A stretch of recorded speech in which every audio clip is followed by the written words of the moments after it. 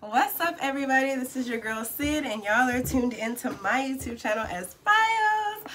I just wanted to make a video about my new purchase that I was super excited about. So I was doing like a partial unboxing because I already opened this boy. But I just wanted to just share with y'all my new purse that I purchased from Marc Jacobs. And this is the small traveler tote and I saw it online with all the algorithms of YouTube. I saw it on, um, I saw the purse on Instagram. I'm like, that is cute, but I didn't pay no attention to it because it was like an Instagram ad or whatever. I'm like, all right, that's cute. But then I was out with my guy, right? And I saw this girl with it that was sitting next to us. And I'm like, oh my gosh, this purse is cute. So you know how you see certain things like, I gotta get it. So long story short, y'all, I purchased this Marc Jacob tote bag and I'm so excited and I just wanted to unpack it for y'all, just show you how it came.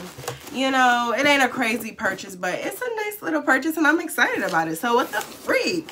But yes, y'all, if y'all are just new to my channel, check out my videos, like, comment, subscribe. I'm just really excited because I ain't made one in a while. But anyway, it came in this box, right?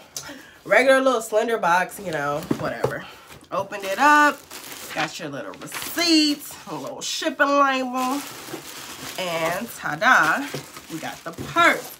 I'm trying to find out what's the name of it. I don't know why I'm so loud, y'all. I've been drinking this mimosa and I've just been really excited. It's been a tough little week, so I'm just unwinding. Anyway, all right. This is my It's a tote bag. So it came in here. And this is called, it doesn't say.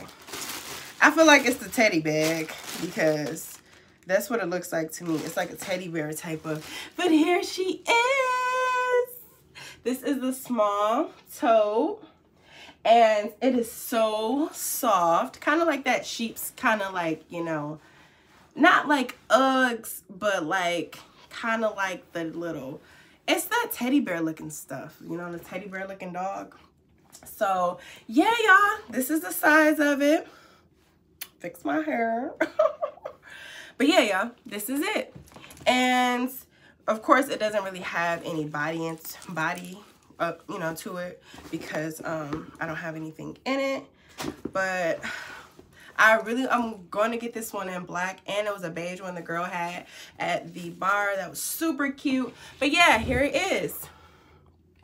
This ran for about 250 online, which was not bad at all. These are like the um, zipper.